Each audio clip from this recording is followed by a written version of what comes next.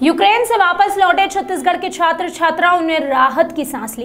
केंद्र और राज्य की मदद से घर लौटे स्टूडेंट से छत्तीसगढ़ के मुख्यमंत्री भूपेश बघेल ने मुलाकात की। छत्तीसगढ़ सदन ने इनके लिए नई दिल्ली में रुकने का इंतज़ाम किया है। मुख्यमंत्री ने सभी का हाल जाना और हर संभव मदद करने का आश्वासन दिया। वतन लौटे स्टूडेंट्स में दीपक साहू, पारस साहू, राहुल पटेल, आस्था सिंह शमी फिरदोस और नादिया अली शामिल हैं। Bureau report. हो गया।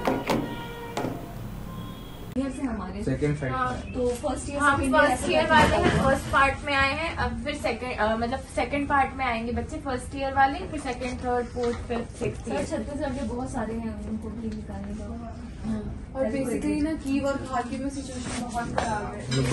में जो फ्रेंड है ना वो खाकी में पता नहीं उसकी क्या कंडीशन है उसे तो कांटेक्ट भी नहीं हो पा रहा। और कीव वाले बच्चे तो प्लेसमेंट में रह रहे हैं उनकी तो बहुत ज़्यादा कंडीशन खराब है। हम लोग खाने पीने में कोई तकलीफ़ नहीं हुई। हमें तो कुछ क्योंकि हम वेस्टर्न एकदम बॉर्डर पे थे ना तो अच्छा, कोई प्रॉब्लम नहीं हुई। लेकिन वो क्या एकदम सेंटर में हो गए और